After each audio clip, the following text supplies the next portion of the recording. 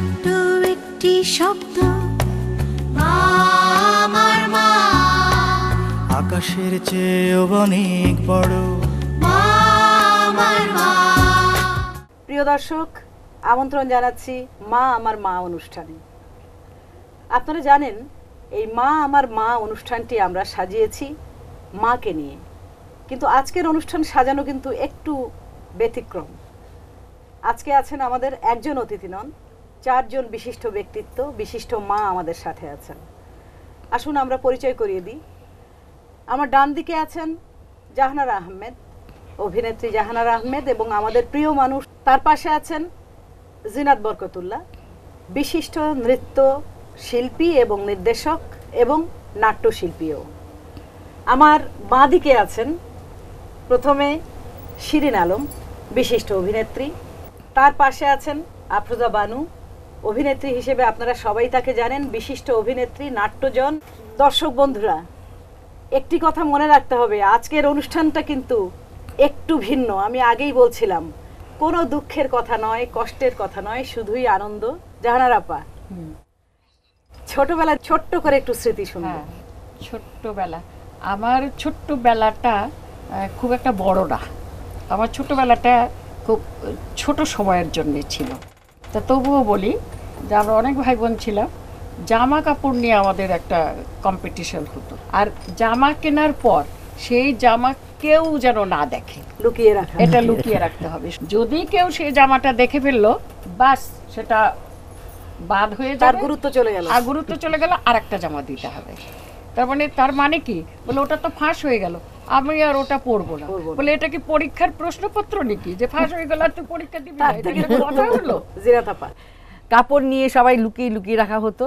আবার ভাস টাস করে ইটি করে ঢুকিয়ে লুকিয়ে রেখে দিত। আপনার? আমি অবশ্য সবার ছোট ছিলাম তো যার কারণে খুব বেশি একটা কথা বলতে পারতাম না। বড়রা যা বলতো সেই ডিসিশনটা মেনে নিতে হতো। এটা মানে বলার মতো না।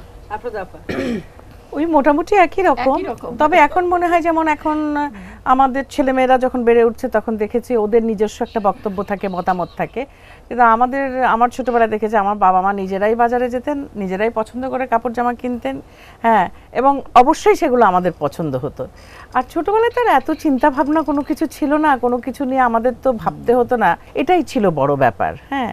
আর আমাদের সময় দেখতাম যে বাবা মারা যে কাপড়ই আনতেন আসলে হ্যাঁ। বলছিলেন আপনি আমাদের কিন্তু সব পছন্দ হতো কিন্তু এখনকার ছেলে মেয়ের অনেক পছন্দ অপছন্দ আমার বাবা যেমন কেনাকাটা করতেন মাও দুজনের পছন্দ খুব ভালো এবং আরও একটা ভালো জিনিস যে মা সেলাই করতেন হ্যাঁ। মা সেলাই করতেন এবং আমাদের সময় আসলে এত বেশি কাপড় জামা ছিল না তো। তো আমাদের স্কুল ড্রেস ঘরে পরার জামা বা একটু বাইরে যাবার জামা এরকম এত বেশি পোশাক আশাকের চল ছিল না। আসলে আপনার ছেলে মেয়েদের এত পছন্দ অপছন্দের এত বেশি হয়েছে যে এক এক- এক একজন যে কত সেট করে কেনে। বিশেষ করে আবার মেয়েরা তো বড় হয়ে গেছে আর নাতিদের কথা বলতে পারি আর কি। মানে তাদের কে কয়টা দিল আবার আত্মীয় স্বজনরাও দেয়।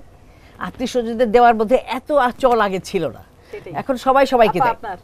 আমার তো আপনার সন্তানদের এইদের এই হ্যাঁ, অনুভূতি কেমন আমার সন্তানদের না ওরা যখন ছোট ছিল আমার আমার তো মেয়ে নেই আমার তিন ছেলে তা এখন তো তারা অনেক বড় হয়ে গেছে তারা আমার এখন নাতি নাতনি তারা এখন আমার ছেলেরা কিন্তু খুব একটা বাতিক করতো না আমার ছোট ছেলেটা খুব বাতিক করতো। ওর অন্তত চারটা জামা লাগতো। কিন্তু বড় দুজনের ওরকম ছিল না। কেনে হ্যাঁ কেনে। ওই মোটামুটি একই রকম তবে আমার ছেলেমেয়েরা অবশ্য খুব একটা চাকচিক্য কাপড় চোপড় মানে আমাকে দেখে দেখে বোধহয় ওরকম হয়েছে। কাপড় জামাতে খুব বেশি দামি বা খুব চকমকে জামা পরে না। তবে নিজেদের পছন্দ হয়েছে সবাই বড় হয়ে গেছে ছেলে তো বড় হয়েছে মেয়েও বড় হয়ে গেছে। হ্যাঁ ছেলে দেশের বাইরে। তো আমার ছেলে খুবই সিম্পল সবসময়।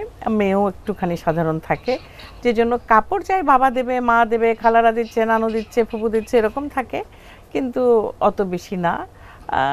মানে আর ওটাও ভাবে যে আমাদের দেশের মানুষ তো অনেক সাধারণ হ্যাঁ।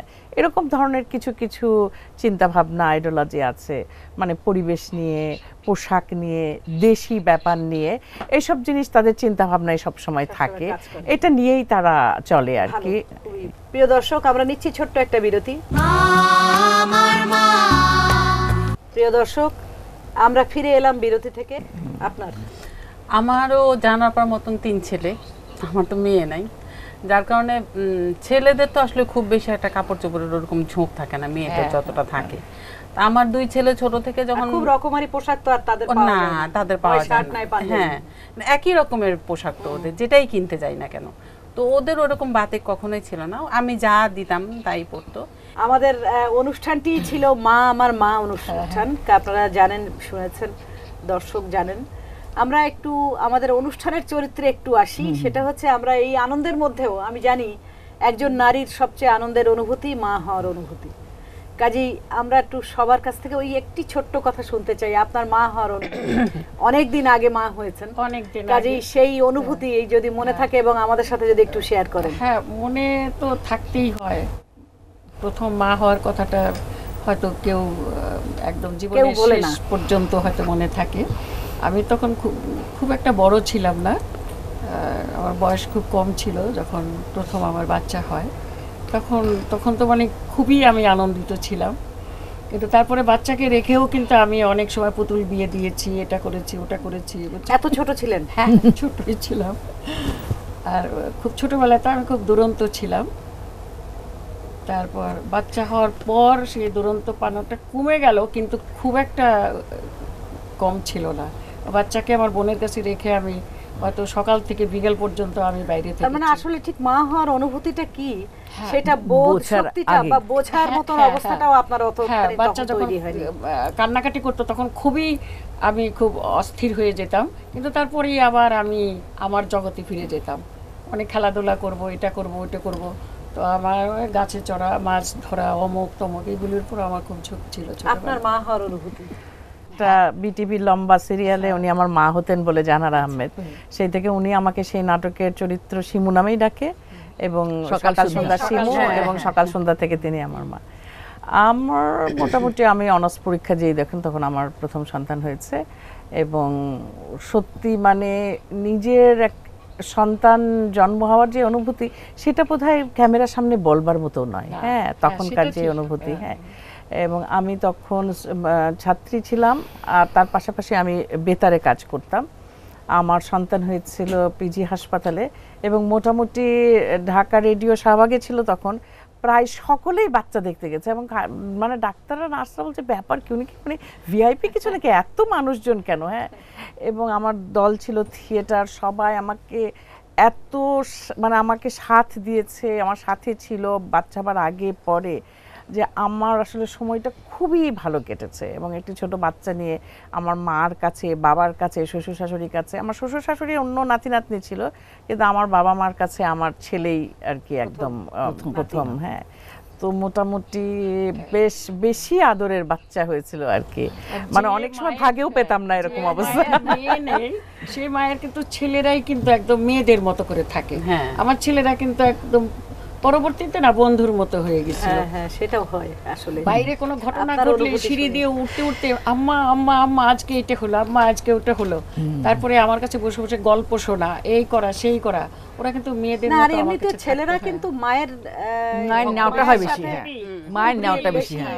মায়ের ভক্ত। ক্লোজ হয়ে যায়। হ্যাঁ ক্লোজ হয়ে যায় মায়ের। ছিল তবে। ফাল্গুনি এখানে আমি একটা কথা বলি আমাদের মানে এখনকার সোসাইটি অনেক চেঞ্জ হয়ে যাচ্ছে কিন্তু আমার আমাদেরও সময় পর্যন্ত মানে বাবা মারা আমাদের কাছে কাছে এত ছিল শ্বশুর যে সন্তান হওয়ার সাথে সাথে নিজেকে কোনো কষ্ট করতে হয়নি।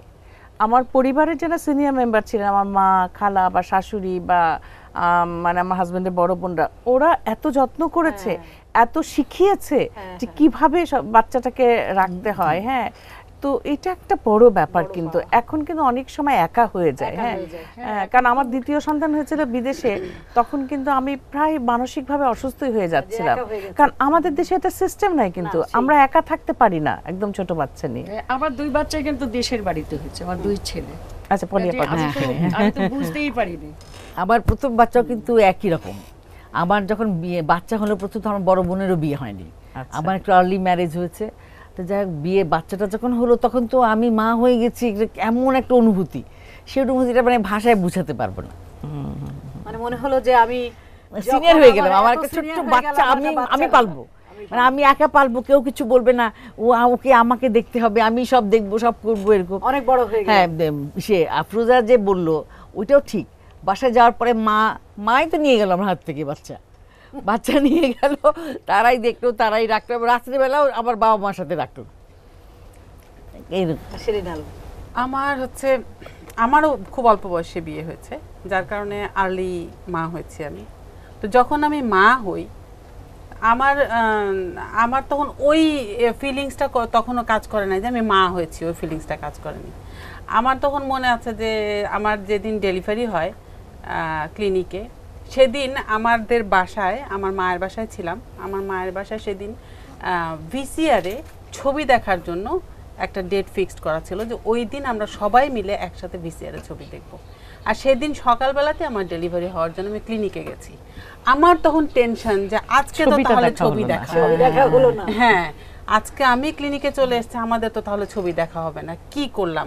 আমার বড় বোন এসে আমার কানের সামনে আমাকে বকা দিচ্ছে আর আমাকে বলছে কি তোর জন্য আজকে আমাদের এই ডিসিশন এখন চেঞ্জ করতে হচ্ছে। আমাদের আমাদের জন্য একটু একটু বিরতিতে যেতে হবে। দর্শক, আমরা যাচ্ছি বিরতিতে।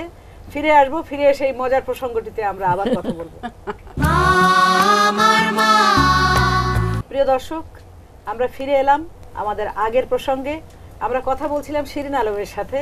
আর এখন যদি হতো তাহলে তোমার বোনটা বলতো দাঁড়া দাঁড়া তোর সিরিয়ালটা দেখে নে। হ্যাঁ, দেখে একটু অপেক্ষা সিরিয়ালটা দেখে নে। আসলে আমার নিজেরই একটু ছোট্ট ঘটনা মনে পড়ছে। সেটা হচ্ছে আমার ছোট বোন। ওর খুব ছোট বয়সে বিয়ে হয়েছে মানে তেরো চোদ্দ বছর এরকম বিয়ে হয়েছিল। তো এখন ওর যখন প্রথম বাচ্চা হবে তো এখন পেন হচ্ছে।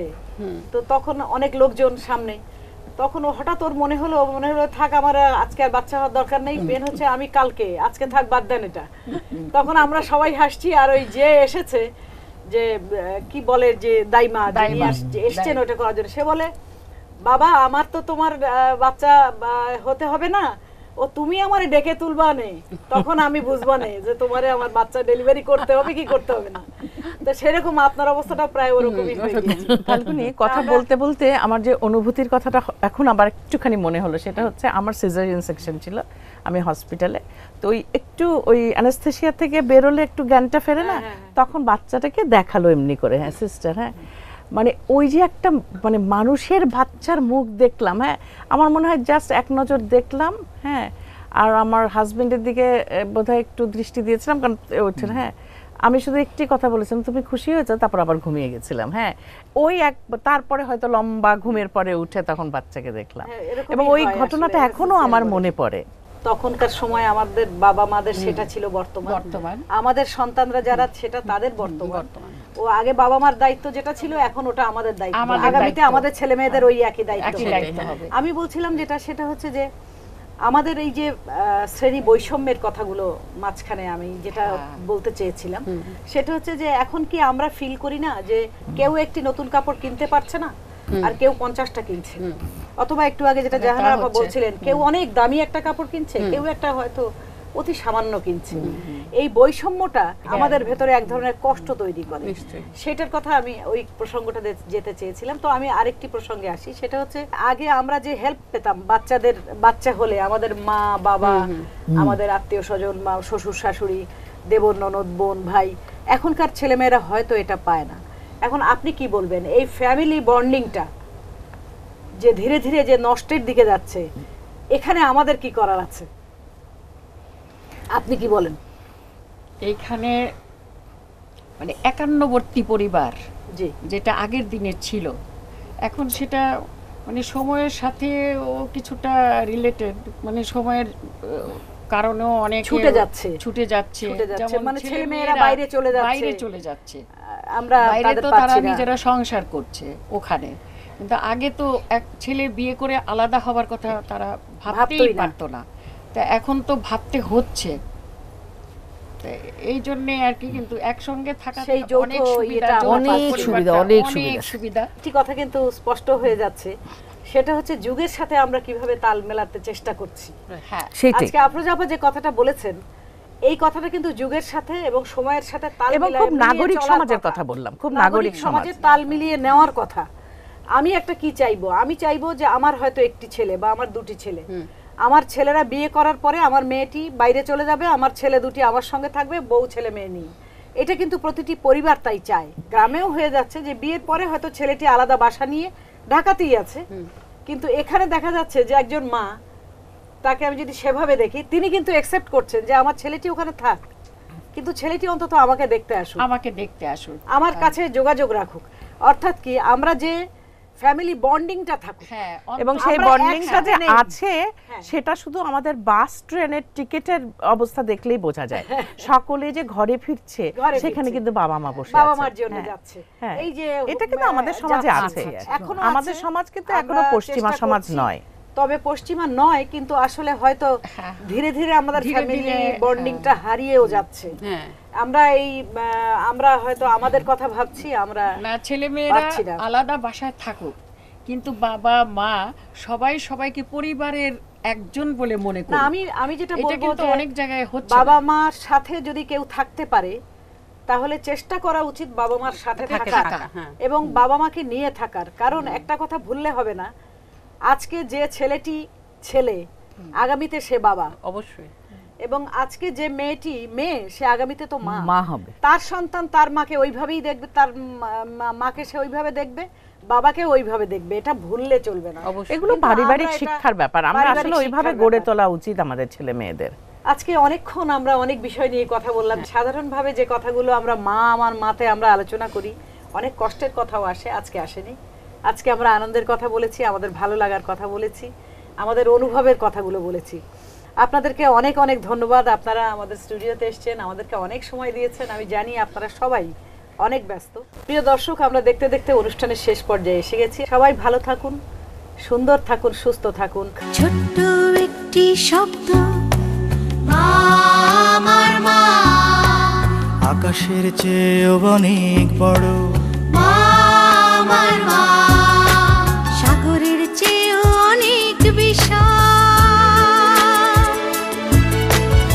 দিগন্তের মতো প্রসারিত।